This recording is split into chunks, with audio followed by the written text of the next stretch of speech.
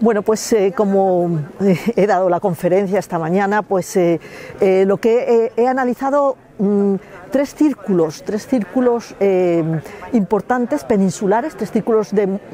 sobre todo formado por mujeres, mujeres eruditas, mujeres latinistas, mujeres que hablaban varios idiomas, desde luego el latín, el griego, incluso hay algunas de ellas, Luisa Sigea, por ejemplo, hasta cinco. Eh, cinco lenguas distintas. Bien, mujeres que alcanzaron un nivel intelectual altísimo.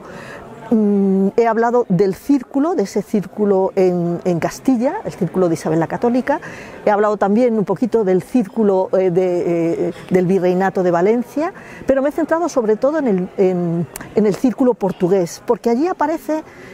una infanta, una infanta portuguesa, María de Portugal, mm, duquesa de Viseu, que hizo una labor extraordinaria, una, eh, reunió a la hora de su propia formación en su palacio, en su corte, eh, una corte de mujeres, una corte eh,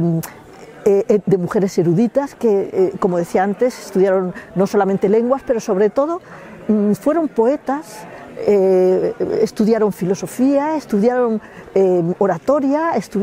aunque la oratoria, como bien eh, hemos, se, ha hablado en el debate, la oratoria era